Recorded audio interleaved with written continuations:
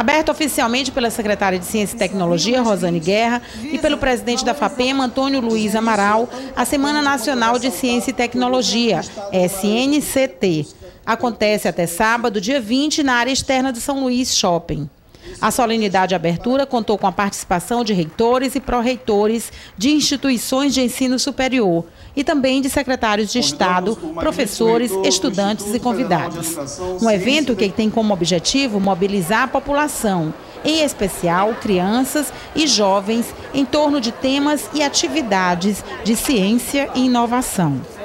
E é o que está exposto que chama a atenção desse público. Eu acho isso muito interessante porque muitas pessoas que vêm aqui aprendem um pouco mais do trabalho dessas pessoas que estão aqui, mostrando esse trabalho para a gente. É que aqui tem vários conhecimentos que a gente pode aprender, coisas novas, riquezas e outras coisas mais. A semana acontece paralelamente em todo o país e é promovida pelo Ministério da Ciência e Tecnologia e no Maranhão é coordenada pela Secretaria de Estado de Ciência e Tecnologia e pela FAPEMA. Conta ainda com a parceria de instituições que reconhecem a importância do evento. É importante para os estudantes, os cientistas, é, exporem seus trabalhos, mas ao mesmo tempo para popularizar a ciência e permitir que a comunidade possa participar a ciência é de todos e os alunos que visitam e olham essas pesquisas que são colocadas aqui pelas faculdades, pelos centros tecnológicos, pelas universidades, isso é muito estimulante para que eles possam aprender. E a educação, é, é eu diria que é, é, o que é mais importante na vida é, de um indivíduo. Muito bem-vinda. A gente gostaria de receber muitas outras desse tipo. Este ano, a semana tem como tema Economia Verde, Sustentabilidade e Erradicação da Pobreza. E as mais de mil atividades apresentadas são voltadas ao assunto.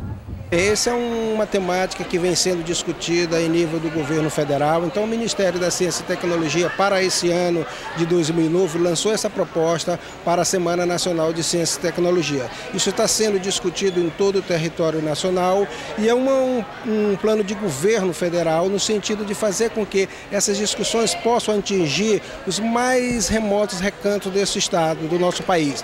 Então, com isso, nós vamos ter, com certeza, novas atividades que serão discutidas discutidas e colocadas numa mesa para discussão para melhorar o nível da nossa população. A proposta do evento é mostrar a importância da ciência e tecnologia no desenvolvimento do país e na vida de cada cidadão. O Maranhão já ocupa o primeiro lugar no ranking em atividades inscritas no Nordeste, o que só mostra o sucesso do evento, que acontece também em 28 municípios maranhenses. A ideia é popularizar tudo que é feito de ciência, tecnologia e inovação no estado do Maranhão e não necessariamente só nas universidades ou nas instituições de ensino superior.